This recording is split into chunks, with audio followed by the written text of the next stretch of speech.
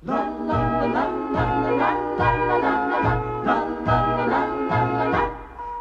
a small wonder, lovely and bright and soft curves. She's a small wonder, a child unlike other girls. She's a miracle, and I grant you, she'll enchant you at first sight. She's a small wonder, and she'll make your heart take flight. La la la la la la la la la la la la la la la. She's fantastic, made of plastic, microchips here and there. She's a small wonder, brings love and laughter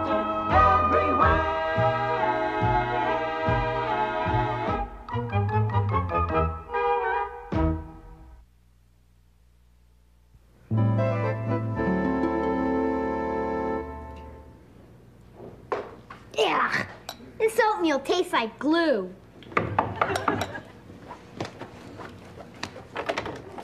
Morning, Jamie. Oh, hi, Harriet. Morning, Vicki. Oh, hi, Harriet. hey, is that for me? No, it's a birthday present for my mother. Can I hide in your house? I can't hide it in mine. Why not? My mother will find it. She's nosier than I am. She's got a bigger nose. If your nose were as big as your mother's, you'd be top heavy and fall on your face. Butt out, Vicki. How about it, Jamie? If you hide this for me, I'll do you a favor sometime. Promise? If I'm lying, I'm dying. Oh, okay. I'll hide the present in that cupboard over there. My mother sure hard to buy presents for. She has terrible taste and a weird body. what did you buy your mother for your mother's birthday, Vicki? I don't have a mother. Oh, then what do you buy your father for his birthday? You are wrong, Harriet. Your nose is bigger than your mother's. Hi! Hi, Jamie. Hi, Vicki. Hi, Mrs. Brindle. Harriet, uh, what are you doing in here? You're going to be late for school. I was just going, Mother. I, uh, I thought Jeannie might invite me to breakfast. Oh, Harriet, how rude. Here I am trying to bring you up with good manners. You keep taking after your father. Oh, I didn't know we had company. Hi, Bonnie. Hi, Joan.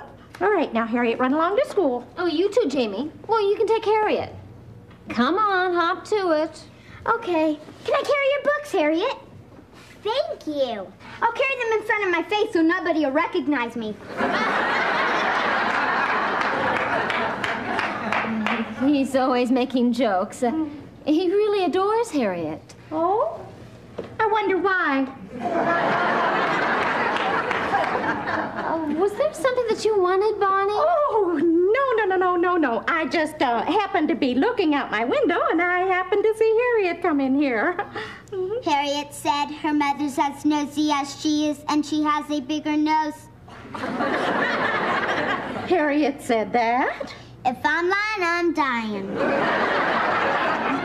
You know, Harriet was always a lovely child until she started to talk. Well,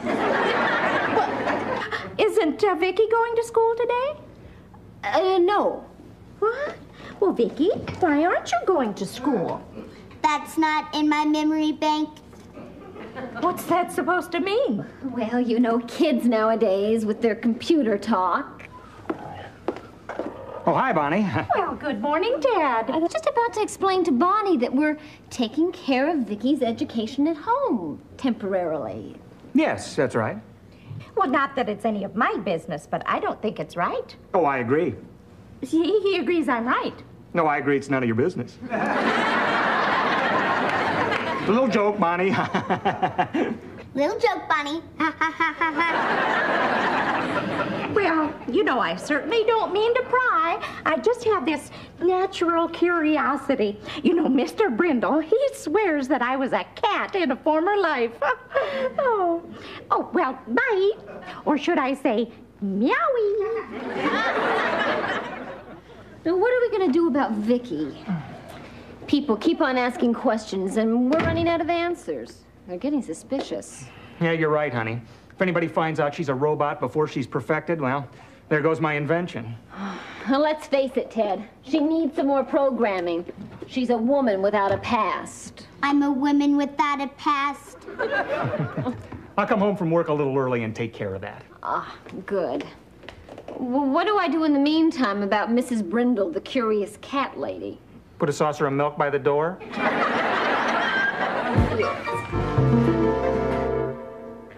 Okay, Vicki, turn around. Let's give this a try. Where were you born? I was born on the island of Mahe in the capital city of Victoria. That's why I'm called Vicki. Mahe? Where's that?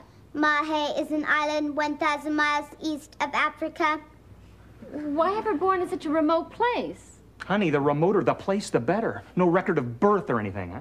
Oh, good thinking. Uh, but what about her parents? An unfortunate accident took care of them nicely. Oh. Oh, I had another terrible thought. Uh, now, now, what if Vicki is with us for a long time? Well, Jamie's going to start to grow, and Vicki's going to remain the same size. No, she won't. Watch. She doesn't even have to be plugged in. Got her wired for a remote.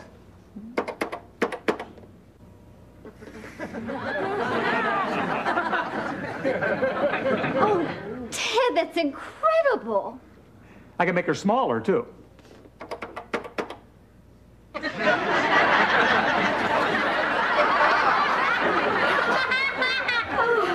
Make her normal, please.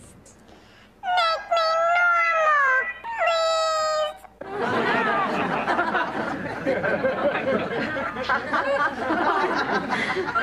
Okay, okay.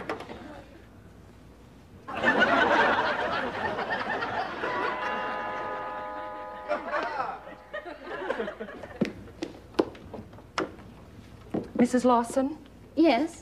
I'm Mrs. Fernwald. I'm from the Department of Children's Services.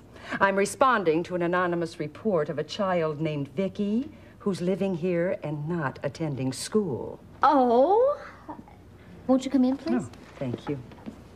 Uh, Mrs. Fernwald, uh, this is my husband, Ted. How do you do? And that, uh, this is Vicki. Uh, won't you please sit down? Oh, thank you. And uh, what is Vicki's full name? Go ahead, tell her, Vicki. My full name is Victoria Ann Smith, but I'm better known as Vicki. And when is your birthday, Vicki? I was born the 9th of September, 1975. I am a Virgo with Taurus rising.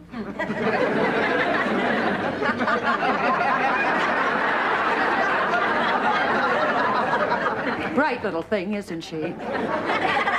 Oh, you'd be amazed. And what about her parents? Oh, it's a tragic story. An accident. It's still so vivid it seems like it happened minutes ago. May I ask what sort of accident? A train. A plane. Well, you see, the, the plane fell on the train. It's really very sad. It's really very sad.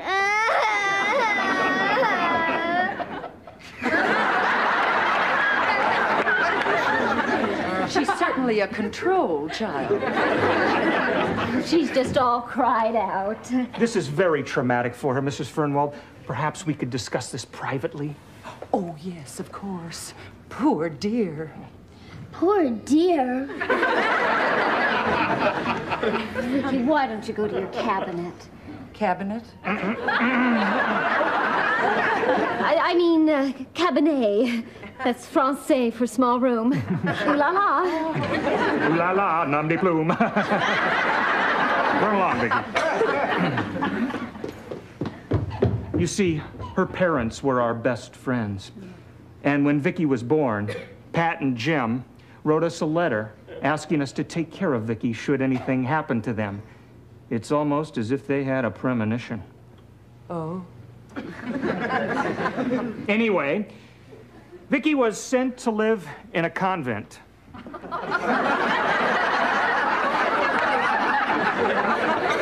so when we got the letter from the nuns telling us about the accident, well, we just opened our home and our hearts to little Vicki.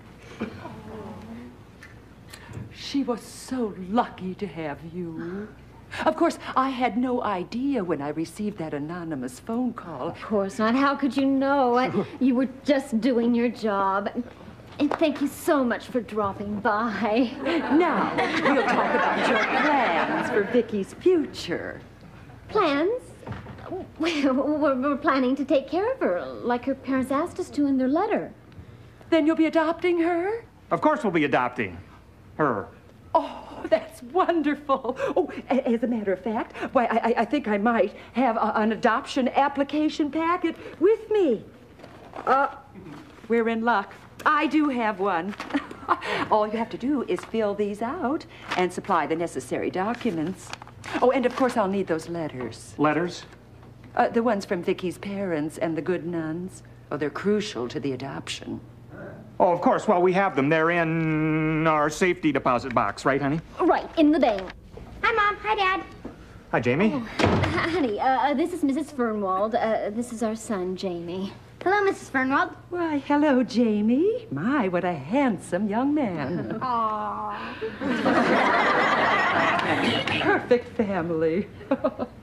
oh, isn't it wonderful, Jamie? You're going to have a little sister. A sister? Mom, are you pregnant? Oh, J- Jamie, uh, she's talking about Vicki. Uh, Mrs. Fernwald is going to help us adopt her. You're kidding. He's overwhelmed. Well, there's nothing more rewarding than seeing a child adopted into a loving home. Well, uh, I'll be going. I'll be back tomorrow to pick up those letters.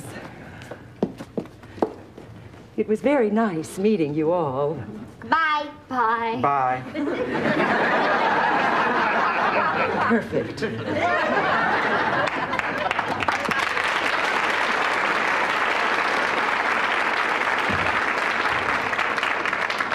I think we just adopted a robot.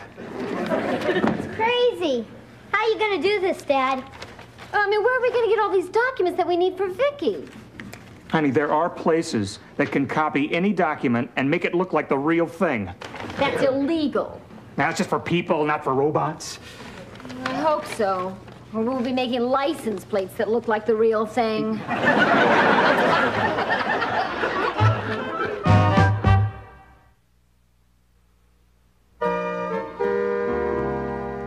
I am finished. Perfect. Hi, everyone. Hi. Hi, Jamie. What's going on? Oh, your father programmed Vicki to write those letters that we need uh, from her make-believe parents and the nuns. In different handwriting, of course. Man, she could be the world's greatest forger. How about whipping me up a few $20 bills, Vicki? How about me whipping up the seat of your pants, Jamie? Well, we've got everything that we need. I hope. Ah, I'll get her.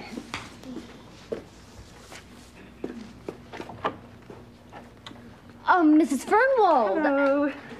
Uh, come in. Well, I hope you don't mind my coming in your back door. But your nice neighbor, Mrs. Brindle, told me you were in the kitchen. Did she also tell you what we had for lunch? Tomato soup and cucumber sandwiches. We have all the papers ready, Mrs. Fernwald.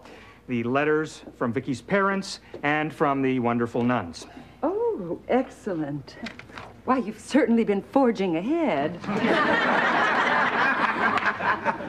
That's the correct word, forging. Well, I'll get these uh, documents filed, and you're on your way. Great. Oh, I almost forgot. To save you the trouble, I made an appointment for Vicki's physical. Vicki's physical? Oh, we have to have it. Dr. Elliot works on a lot of our cases. Would tomorrow at 3 be convenient? Three. Dr. Elliot's quite famous in the medical profession. He makes house calls. Bye. Bye. I must have been nuts to think we could adopt a robot. Cheer up, Dad. Maybe Dr. Elliot won't notice Vicki's a robot. Won't notice when he looks down her throat and sees microchips where her tonsils ought to be? Maybe we ought to forget the whole thing and dismantle Vicki. Dismantle Vicki? Oh, no. Dismantle Vicki? Oh no. Hey, I've got an idea. Why don't we dismantle Harriet instead?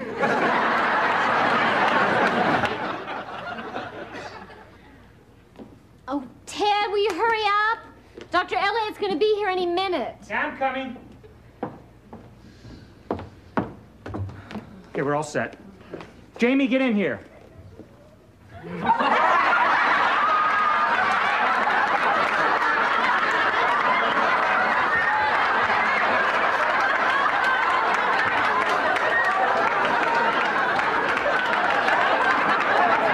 Oh, Jamie, you look so cute.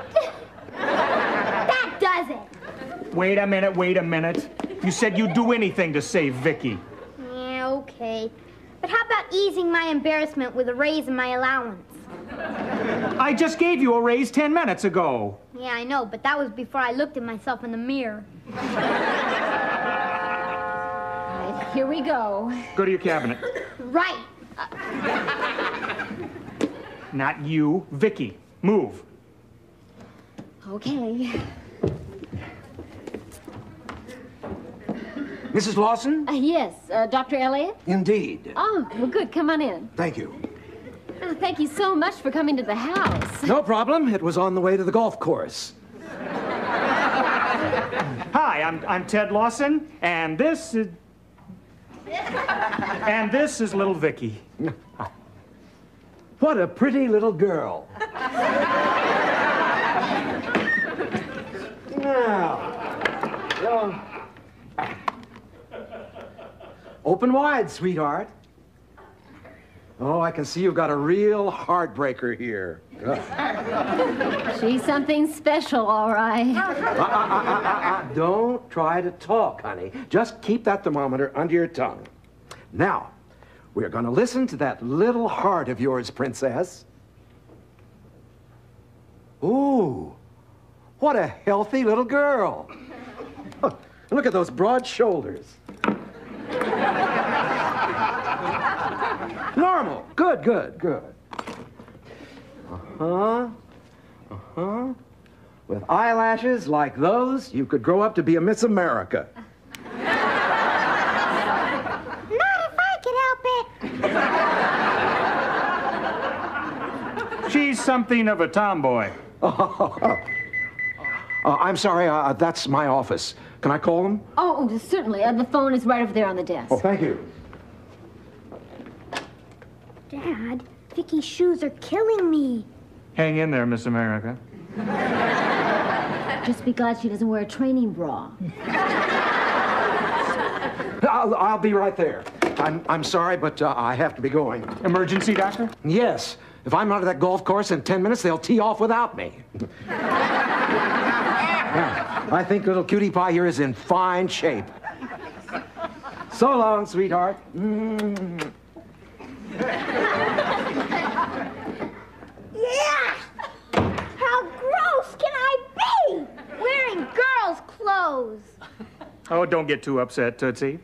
I mean, Dustin Hoffman almost won an Academy Award for doing it. Woody didgy baby. Oh, for me. you know, this is my 63rd adoption ceremony. Well, we couldn't have gotten this far without you, Mrs. Fernwald. Oh, well, mind you, the court hearing isn't for several months, but that's just a formality. For all practical purposes, you can now consider Vicki your daughter. Yoo-hoo! It's me! Oh, great. Just what we needed. Miss Kitty Litter of 1985. Coming. Oh, this is so exciting. Do come in. Oh, well, I just happened to look in the window and saw the balloons and the flowers, and then Harriet told me that she had hid my present in here. It is so neighborly of you to give me this surprise birthday party. Oh. And you don't even have to yell surprise. Oh. Bonnie, this party isn't for you. This party's for Vicki. oh? It's her birthday, too. I wasn't even invited. Nope, it's not her birthday, and you're still not invited. No, Bunny. You see, we've uh, legally adopted Vicki. Uh, well, with the help of Mrs. Fernwald here. Adopted her. Oh, this is wonderful. Yes, a- and could we get on with the ceremony? Oh, I'm sorry. Yes, of course. May we stay? Wouldn't be the same without you. Dear ones, this placement ceremony shows that the state is satisfied, and so am I. That the Lawson family will give Vicki Ann Smith everything that she needs to grow physically, mentally, and spiritually. Oh, this is so touching. And it could never have happened without my anonymous phone call.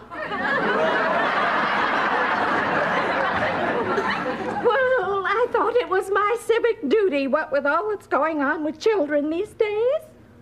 Well, she's got a point, Ted. Yeah, I guess so. Well, all's well that ends well. Indeed.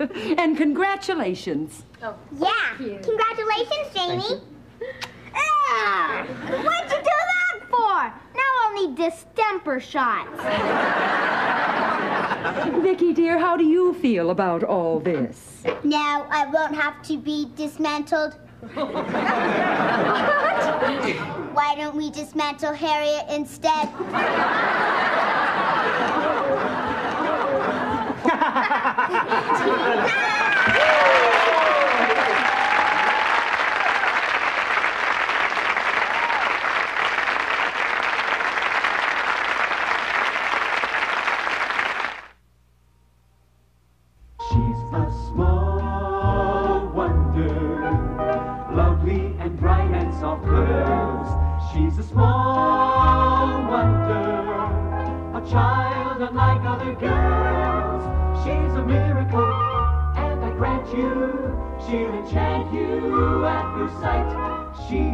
you